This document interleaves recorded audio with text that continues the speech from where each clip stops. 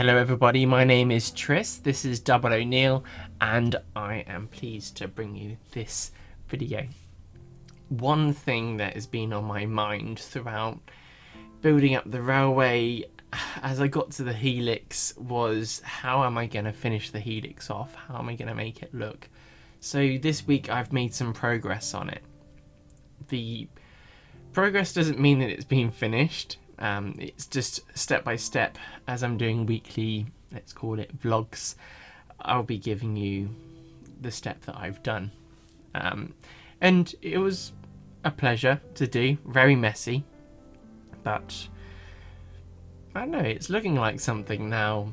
I'm not sure how it's going to turn out, but I think once we paint it up, put some grass on, it's going to look, yeah, maybe a bit more special than um, my kind of thoughts were on it.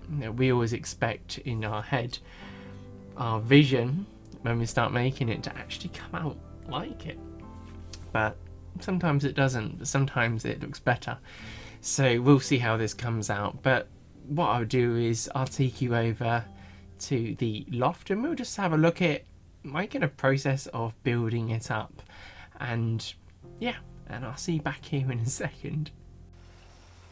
I think it's pretty self-explanatory what I'm up to here.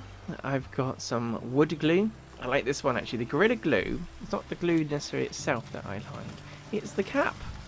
It comes out so nicely. Um, whereas when I use the Bostik stuff, I think it is, um, I always think it's Bosch, but Bostik, you're really squeezing on that bottle to try and get it to come and it just it doesn't. So with this glue works very nicely and I'm just making the shape with the cardboard. I'll do it around the whole lot. I'm gonna put newspaper in between and then we'll end up putting plaster over the top with some water. It's all simple stuff. I won't keep talking. We'll just have some music on and I'll see you um, back in my, uh, my room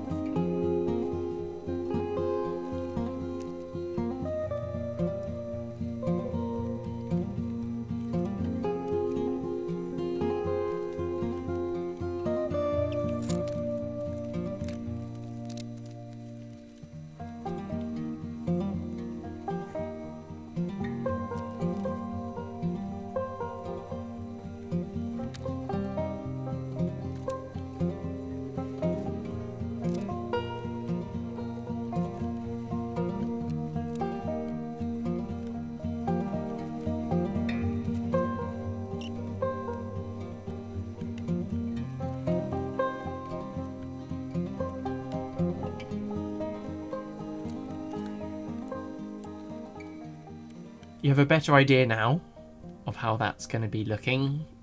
I'm looking forward to painting it. I talked to my dad before about when he'd been doing some of his contours on his railway and he was using polyfillers and PVA glue as well as a little bit of paint to give it pigment. And what I'd like to do is add some black paint. I was going to mix a bit of brown or whatever with it, a bit of grey, and we can mix that with the polyfiller, paint it all over, and we'll end up having a lot of work done that I was, you know, when I did the initial stage, I put the bandage strips up of the plaster strip, I forget that name, um, and so where you have that, you get the little holes, and then you add the plaster to kind of give it texture and block up the holes, and then you've got to paint it and then weather it. It all takes a bit of time, and I was thinking maybe I can skip a step. If I get the plaster, I add the PVA glue, I add the paint, I put it on, and actually it might end up having the right kind of look to it, and then all I do is I weather it and I add some static grass and some shrubbery and I have some fun with it during that time. So we'll see how that works. That might be next week's episode or the week after, who knows. But at the same time of doing that, it makes me want to do a bit on the 009 layout that I've, I've been working on. I want to do some more bits of that as well, but we won't be talking about that on this episode. But what we will be talking about with the 009 is I had a comment from my father, as well as a comment from I can't remember which YouTuber it was. I have to keep searching through. Uh, one of my subscribers, or even no, I don't even know if they're my subscriber, um, wrote a comment to say that it'd be good to see a toad brake van, and a toad brake van in Great Western Railways is this lovely beauty, and uh, it's got a distinct look um, to the Great Western Railways as far as I understand, unless there's uh, something else going on. And I wanted to make a 009 version of it, so shrinking proportions down and having some fun with it. So what we'll do is we'll go through the process of what I did there, and yeah, it's quite satisfying doing these things. Sometimes it can be stressful, but uh, we, we get them done in the end, and yeah, it's all really good fun. So what we'll do is we'll go through that process and uh, I'll see you in a second.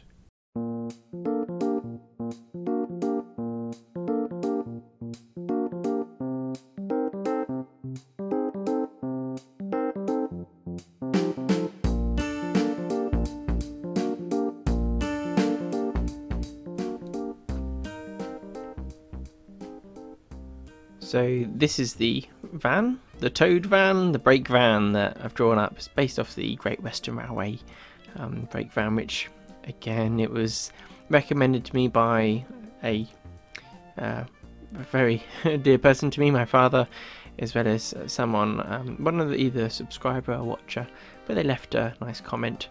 You can see the detail I've added in on this, made a simple chassis, and uh, go through the process of then printing it afterwards. Can even see a little uh, chimney top on there. But this is the slicer software, as I've shown you before in previous episodes. Um, you can see the little supports that grow up. They connect up to the bottom of all the pieces. As you can see, I'm just going up and down so you can see it. And as it goes up, gradually, it the part you know forms. Um, every layer that happens gets UV cured. Uh, that's ultraviolet light, and as that's cured, um, you know, to a certain state, it goes hard, we get it off, and then I put it on the ultraviolet um, box that I built to then cure them properly. This was actually not my first attempt. I was kind of three attempts at all the parts. I think maybe two on the brake van body, uh, but the roof was three attempts. It just things didn't kind of work out quite right. Slight bowing, bits of information missed. So I just thought fine, but it's just soaking in isopropyl alcohol. And um, yeah, once it comes out, I give a little rub down. Um, after, well, actually, I put it in the IV um, box first to get that all hardened, um, and then um, I just sanded off little areas. But you can see where you get the abnormalities on there, and you get um, issues that you can't really sand out. So maybe a better printer in future will be good for me. but there's the chassis, got to pop the wheels on.